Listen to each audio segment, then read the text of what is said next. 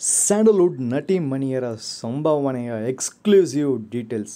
ಸ್ಯಾಂಡಲ್ವುಡ್ನಲ್ಲಿ predominantly dominated by ಹೀರೋಗಳು. ಈಗ ಸ್ಯಾಂಡಲ್ವುಡ್ನಲ್ಲಿ ನಟಿಯರು ಕೂಡ ಸಂಭಾವನೆ ತಾರಕಕ್ಕೇರಿದೆ. ಸಂಭಾವನೆಯಲ್ಲೂ ತಾವು ಎಲ್ಲರನ್ನೂ ಮೀರಿಸುತ್ತಿದ್ದಾರೆ ಸ್ಯಾಂಡಲ್ವುಡ್ನ ನಟಿಮಣಿಯರು national crush Kirik beauty. Kirik party ಸಿನಿಮಾದ ಮೂಲಕ ಭಾರತದಾದ್ಯಂತ ಸಂಚಲನ ಸೃಷ್ಟಿಸಿದ ನಟಿ ರಶ್ಮಿಕಾ ಮಂದನ. ರಶ್ಮಿಕಾ ಮಂದನರವರು ಸರಿಸುಮಾರು ಮೂರು ವರ್ಷಗಳ ಹಿಂದೆ ಕಿರಿಕ್ ಪಾರ್ಟಿ ಸಿನಿಮಾದ ಮೂಲಕ ಚಲನಚಿತ್ರ ರಂಗಕ್ಕೆ ಪಾದಾರ್ಪಣೆ ಮಾಡಿದರು. ಆ ಸಿನಿಮಾಗೆ ತೀರಾ ಕಡಿಮೆ ಪ್ರಮಾಣದ ಸಂಭಾವನೆ ಪಡೆದುಕೊಂಡಿದ್ದರು ಎಂಬುದು ಮಾಹಿತಿ. ಅದಾಗಿ ಮೂರು ವರ್ಷ ಕಳೆಯುವುದರೊಳಗೆ ರಶ್ಮಿಕಾರವರ ಸಂಭಾವನೆ ಕೋಟಿಗೇರಿದೆ. ಕನ್ನಡದ ಸಿನಿಮಾ ಪೊಗರು ಚಿತ್ರಕ್ಕೆ ಅವರು ಪಡೆದಿರುವ ಸಂಭಾವನೆ ಅರವತ್ತೈದು ಲಕ್ಷ ರೂಪಾಯಿ ಎನ್ನಲಾಗಿದೆ. ಕನ್ನಡದ ನಟಿಯೊಬ್ಬರು ಕನ್ನಡ ಸಿನಿಮಾಗೆ ಈ ಪ್ರಮಾಣದ ಹಣ ಪಡೆದಿರುವುದು ಇದೇ ಮೊದಲು.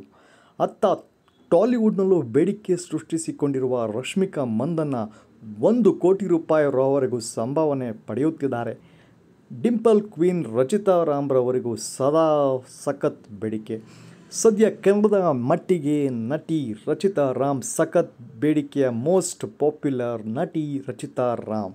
ಡಿಂಪಲ್ ಕ್ವೀನ್ ರಚಿತಾ ರಾಮ್ ರವರ ಸಂಭಾವನೆ ಒಂದು ಸಿನಿಮಾಗೆ ಮೂವತ್ತರಿಂದ ಮೂವತ್ತೈದು ಲಕ್ಷ ರೂಪಾಯಿ ಎಂಬುದು ಗಾಂಧಿನಗರದ ಮೂಲಗಳ ಮಾಹಿತಿ. ಏಳು ವರ್ಷಗಳ ಹಿಂದೆ challenging star Darshan, D boss Darshan ರವರ ಬುಲ್ಬುಲ್ ಸಿನಿಮಾದ ಮೂಲಕ ಚಿತ್ರರಂಗ ಪ್ರವೇಶ ಮಾಡಿದ ರಚಿತಾ ರಾಮ್ ರವರು ಸುಮಾರು ಇಪ್ಪತ್ತಕ್ಕೂ ಅಧಿಕ ಸಿನಿಮಾಗಳಲ್ಲಿ ನಟಿಸಿದ್ದಾರೆ.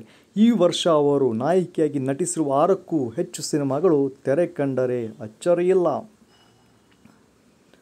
ಯು ಟರ್ನ್ ಬೆಡಗಿ ಸುಂದರಿ ಶ್ರದ್ಧಾ ಶ್ರೀನಾಥ್. ಕನ್ನಡದ ಜೊತೆಗೆ ಪರಭಾಷೆಲು ಡಿಮ್ಯಾಂಡ್ ಉಳಿಸಿಕೊಂಡಿದ್ದಾರೆ ಯು ಟರ್ನ್ ಸುಂದರಿ ಶ್ರದ್ಧಾ ಶ್ರೀನಾಥ್, ಮೂಗುತಿ ಸುಂದರಿ ಶ್ರದ್ಧಾ ಶ್ರೀನಾಥ್.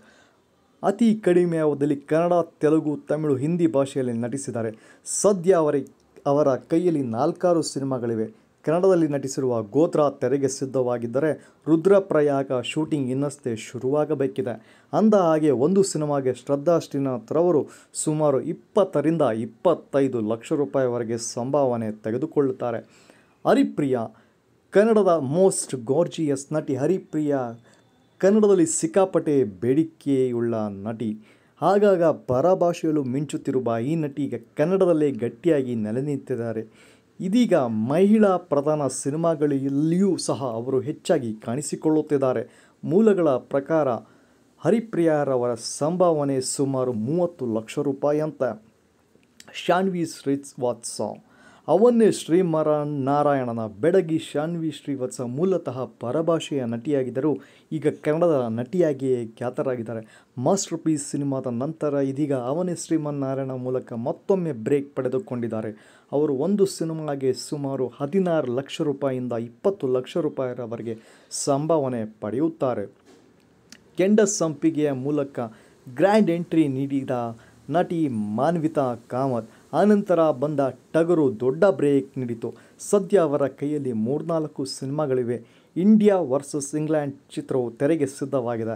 ಜಹಣ್ಣ ಕಂಬೈನ್ಸ್ ಅಡಿಯಲ್ಲಿ ನಿರ್ಮಾಣಗೊಂಡಿರುವ ಶಿವ ಒನ್ ಫೋರ್ ತ್ರೀ ಬಿಡುಗಡೆಯನ್ನು ಎದುರು ನೋಡುತ್ತಿದ್ದಾರೆ ಟಗರು ಪುಟ್ಟಿ ಮಾನ್ವಿತಾ ಕಾಮತ್. ಜೊತೆಗೆ ಬಹುಭಾಷೆಯ ರಾಜಸ್ಥಾನ್ ಡೈರೀಸ್ ಹಾಗೂ ಅಜಯ್ ರಾವ್ ಜೊತೆಗಿನ ರೇನ್ಬೋ ಶೂಟಿಂಗ್ ನಡೆಯುತ್ತದೆ. ಸದ್ಯ ಅವರು ಒಂದು ಸಿನಿಮಾಗೆ ಹದಿನೈದು ಲಕ್ಷ ರೂಪಾಯಿವರೆಗೆ ಚಾರ್ಜ್ ಮಾಡ್ತಾರಂತೆ.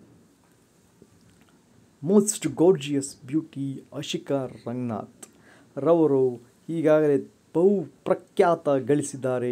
ನಟಿ ಅಶಿಕಾ ರಂಗನಾಥ್ ರವರ ಸಂಭಾವನೆ ಹದಿನೈದು ಲಕ್ಷ ರೂಪಾಯಿ. ಕಿಸ್ ಭರಾಟೆ ಖ್ಯಾತಿಯ ಶ್ರೀಲೀಲಾ ಹತ್ತು ಲಕ್ಷ ರೂಪಾಯಿ ಸಂಭಾವನೆ ಪಡೆದುಕೊಳ್ಳುತ್ತಾರೆ.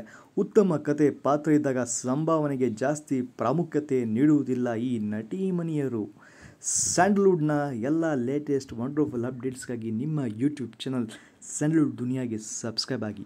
For all the latest and wonderful updates on Kannada film industry and teleserial industry please subscribe to YouTube channel Sandalwood Duniya thank Sandalwood ನಟಿ ಮಣಿಯರ ಸಂಭಾವನೆಯ ಎಕ್ಸ್ಕ್ಲೂಸಿವ್ ಡೀಟೇಲ್ಸ್ ಸ್ಯಾಂಡಲ್ವುಡ್ನಲ್ಲಿ ಪ್ರಿಡಾಮಿನೆಂಟ್ಲಿ ಡಾಮಿನೇಟೆಡ್ ಬೈ ಹೀರೋಗಳು. ಈಗ ಸ್ಯಾಂಡಲ್ವುಡ್ನಲ್ಲಿ ನಟಿಯರು ಕೂಡ ಸಂಭಾವನೆ ತಾರಕಕ್ಕೇರಿದೆ. ಸಂಭಾವನೆಯಲ್ಲೂ ತಾವು ಎಲ್ಲರ